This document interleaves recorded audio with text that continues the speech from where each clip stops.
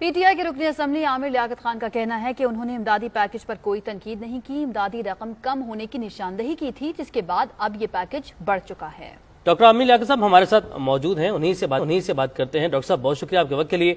अब हमारे साथ लाइव है सर। बताएगा कि जो आपने एक तनकीद की है या क्या कहा इस पर आप क्या कहते हैं? एंकर को साथी एंकर को ये समझाया कि मेरा नाम आमिर लियाकत खान नहीं है आमिर लियाकत हुसैन है। पहले आपको डॉक्टर पता आमिर लियाकत बोला। पहले आपको पता होना चाहिए कि आप जिसे बात कर रहे हैं उसका नाम क्या है। आमिर लियाकत हुसैन नाम है मेरा। ठीक है? आमिर लियाकत ही बोला, सर, आमिर लियाकत ने मेरा नाम रखा था। आमिर लियाकत खान नहीं जी, मैं। माजरत डॉक्टर साहब, माजरत, जी। आमिर लियाकत साहब। जी माजरत जी, माजरत, मैं माजरत कर रही हूँ कि आपका नाम बात आमिर लियाकत है- बात साहब, ये कि आप लोग इस वक्त जो बैठकर फसाद फैला रहे हैं सब जगह पे फसाद न फैलाएँ लोगों के अंदर एतमाद और यकीन पैदा करें।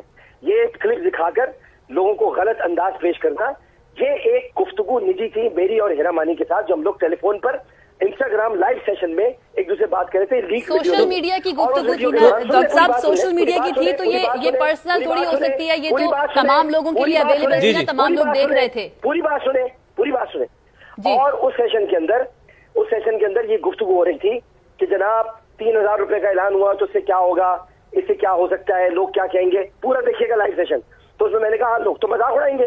लोगों का कहना चाहिए तीन हज़ार रुपए में क्या होगा? ज़ाहिर भी आ सकता है, फला चीज़ भी आ सकती है, फला चीज़ भी आ सकती है। लोगों का तो काम ही मज़ाक उड़ाना है। जैसे कि तीन हज़ार रुपए में कुछ नहीं हो सकता।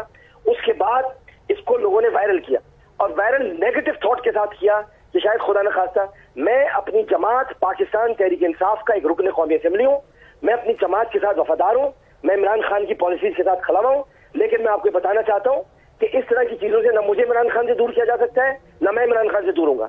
आज लेकिन वो 3,000 रुपए, लेकिन डॉक्टर साहब आपको नहीं लगता कि हो एक चीज़ सोशल मीडिया पर जा रही है तो उसको लोग हर एंगल से देखेंगे और आपको अपनी बात करते हुए इस चीज़ का ख्याल रखना चाहिए कि की इसको किसी भी एंगल से देखा जा सकता है। एंकर्स को न्यूज़ रूम में बैठकर मज़ा आता है बातें करने का एयर कंडीशन कमरों में। आइए बाहर आइए सोल्जर बाज़ार लाइन एरिया एबीसी ने लाइन बरजट्टा लाइन जट लाइन डॉक्टर साहब हमें नहीं पता आपको किस बात का गुस्सा है। आपको किस चीज़ का गुस्सा है और आप जो कर रहे हैं, आप हमें बता रहे हैं कि हम क्या करें और हमारे इदारे को क्या करना चाहिए। आपने बहरहाल आपका वक्त निकाला, आपने आपको उसके लिए हम आपका शुक्रिया अदा करेंगे। आपसे हम मजीद बात नहीं कर सकते। जो आपका रवैया है, जिस तरीके से आप बात कर रहे हैं, हम भी आपसे मजीद बात इस पर नहीं करना चाहते। आपने एक चीज़ सोशल मीडिया पर शेयर की है और उसके बाद वो चीज़ पब्लिक है। आप भी पब्लिक फिगर है और आप भी इसी पब्लिक को जवाबदेह हैं। क्योंकि आप इसी पब्लिक के वोट पर आप यहाँ पर आए हैं और अब आप लाइन ड्रॉप कर गए। जब हमारी बोलने की बारी आई है तो आप लाइन ड्रॉप कर गए। माजद के साथ हमारे अंदर भी गुस्सा है हमें भी दुख होता है और आप अगर आपको पब्लिक का सवाल करना बुरा लगता है तो माजद चाहते हैं कि सर आप इसी पब्लिक के वोट से इसी सीट पर आकर यहाँ पर आकर बैठे हैं।